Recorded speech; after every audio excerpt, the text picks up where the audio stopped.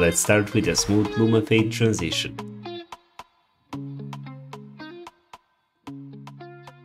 Open CapCut and add the first video to the timeline, then add the second video as an overlay. Position it like I did so that it covers one part of the first clip. Click on the second clip and then select the remove background feature on the right side of the screen. Activate the chroma key option, then select color picker and position it to any color in your video. After that increase the intensity to 100% and then add a keyframe. Now at the point where you want the transition to end, decrease the intensity. Now I will show you how to make it even better. Right click on your video and then click on show keyframe animation. Click on this arrow and then right click on the first keyframe. After that click on graphs and choose the graph you like. For this transition I will use ease out tool. Here you can easily adjust it. After that, when you are done, right click on your video and then click on hide keyframe animation. The next step to make it better is to add in animation. Click on the animations tab on the right side of the screen and then select fade in animation. Adjust it according to your preference and then select your clips. Right click and choose the create compound clip option to group them into one clip. After editing, your transition should look like this. This video wouldn't be possible without Zhiyun Cinepeer Weebill 3, a game changer for anyone looking to elevate their videography. The Weebill 3 is ultra compact and lightweight, with folded dimensions similar to A4 paper, weighing just 990 grams. It comes with a 0.96 inch OLED screen providing a clear and user-friendly interface for real-time status updates, ensuring smooth and efficient control during shoots.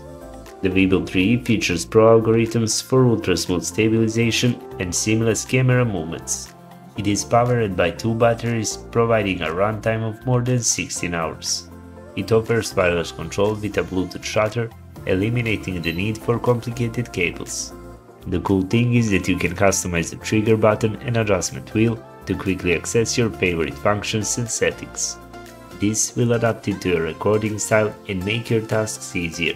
You can easily switch it to portrait mode without any extra accessories and it can use the same accessories as the Weebill 3S. You can find the full review video with unboxing and 6 easy gimbal moves in the description. In the next part of the video I will show you how to create a cool thunder transition. Before editing, my videos look like this. The first step is to find the right sound effect. Go to the audio tab and click on sound effects. After that, type thunder in the search box. Select this sound effect.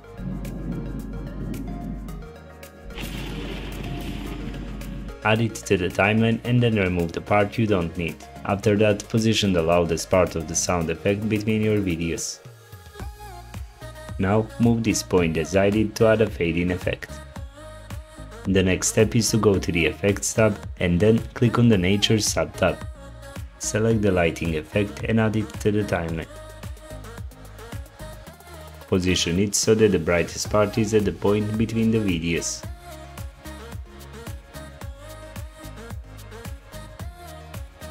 After editing, your transition should look like this.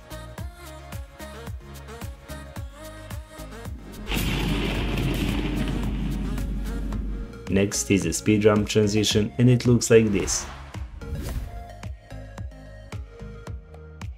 Before editing, my videos look like this.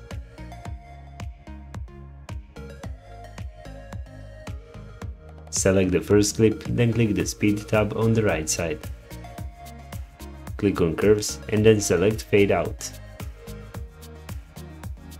Select this point and move it to the right. Position the points like I did to make the transition look better. Now click on the second clip and then choose fade in. Move this arrow to the left and move the other one according to your preference. This is how my transition looks after editing. Now I will show you how to add new transitions like this one. To start, open AEJuice standalone. You will find a tutorial on how to install it and use it in the description. Here you can find many cool packs that you can use to improve your videos. You can purchase these packs for your projects and some are available to download for free. For this video we will use the Neon Analog Glitch pack. Here you can find many interesting effects that you can easily download. Simply select the effect you like, then click the download button in the upper right corner. Now I will show you how to download perfect sound effects for free. Go to the home page and then click on sound effects free pack. Here you will find high quality sound effects completely free. Download ones that match the effect you downloaded and then open CapCut.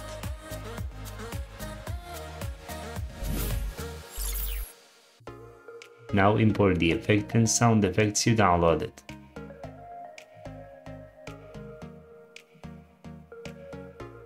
Add the effect to the timeline and then position the brightest part at the point between the videos.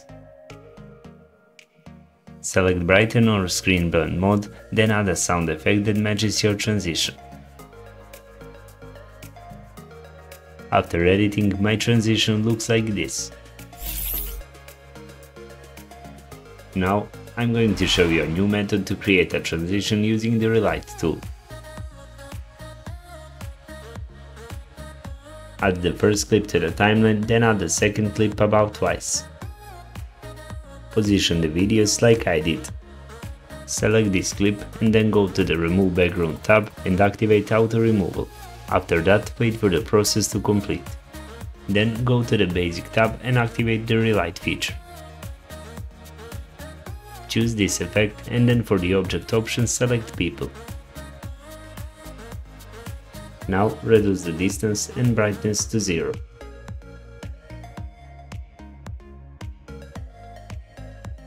The next step is to select the clip below. Remove the part of the video on the left like I did and then add fade in animation. Adjust it according to your preference and then select video about go to the video tab and then in the blend option add a keyframe. Now at the point where you want the transition to end, decrease the opacity to zero. Next, go to the animation tab and select the in animation you like.